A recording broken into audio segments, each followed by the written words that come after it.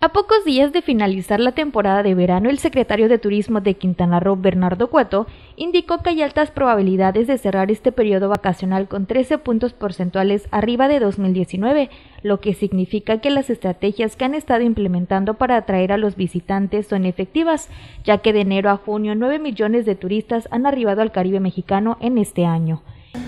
Estamos a la espera del corte de, la temporada de verano, las proyecciones eh, son bastante alentadoras, eh, hemos recibido tan solo de enero a junio más de 9 millones de turistas. Esto representa aproximadamente un 10%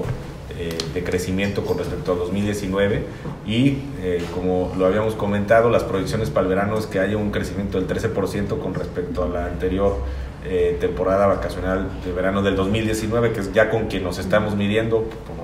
cuestiones obvias, ¿no? que era un año que no, en el que no había una pandemia por medio. Nosotros seguimos con una pandemia, pero estamos creciendo, entonces nos da mucho gusto porque están, estamos teniendo eh, eh, estrategias efectivas para seguir atrayendo mayor turismo y sobre todo para seguir mejorando nuestra oferta. Mencionó que en cuanto tengan el corte de la temporada alta darán a conocer los resultados, pero esperan que se registren las cifras que proyectaron, debido a que un promedio de 43 mil turistas internacionales han arribado todos los días al destino y a esto se le suma el mercado nacional, así que la recuperación marcha por buen camino. Vamos a anunciar en cuanto tengamos el corte de la temporada de verano, pues si logramos esta, esta cifra que se proyectó, esperemos que sí, tenemos eh, actualmente un promedio de 43 mil turistas internacionales arribando todos los días al estado, diariamente 43 mil turistas internacionales, esto se le suma por supuesto el turismo nacional, tuvimos una semana en verano de las cortes que hacemos cada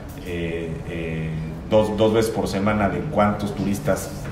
tenemos en el estado y cuál es el nivel de ocupación, logramos sobrepasar la cifra de 400 mil turistas en una semana lo cual nos alienta o nos muestra que las cifras que podamos dar puedan ser eh, pues cercanas a esa proyección. Vamos a ver, es muy aventurado ahorita decirles, pero todo parece indicar que vamos por muy buen camino. Aunque se aproxima la temporada baja, los hoteleros de Cancún y la Riviera Maya han pronosticado que las ocupaciones para ese periodo podrían superar el 70% ante la preferencia de los turistas por el Caribe mexicano. Con imágenes de Ricardo Vallejo informó para Notivisión Silvia Fernández.